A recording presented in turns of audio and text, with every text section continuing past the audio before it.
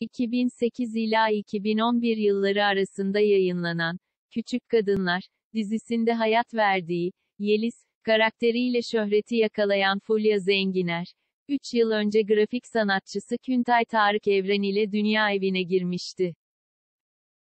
Mutlu birlikteliklerini bebekle taçlandıran ünlü çift, iki ay önce Milan adını verdikleri oğullarını kucaklarına alarak ilk kez anne baba olmanın mutluluğunu yaşamıştı. 677 bin takipçisi bulunan Instagram sayfasından sık sık bebeğiyle paylaşım yapan Zenginer, son olarak Alaçatı tatilinde çekilen karelerini peş peşe yayınladı. Oğlu Milan ile pozlarına, Alaçatı Hatıraları 822, notunu yazan ünlü isme, kısa sürede binlerce beğeni ve yorum geldi. Takipçiler, oyuncuya, günlük Milan dozumuzu aldığımıza göre dağılabiliriz. Her bir fotoğrafa kalbim güzelliğinizden parçalandı ve çok tatlısınız maşallah gibi mesajlar yazdı.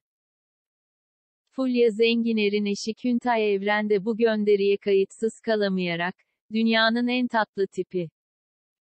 Sanki beyaz çikolatalı profiterol, yorumunu yaptı, Fulya Zenginer oğlunu spa'ya götürdü.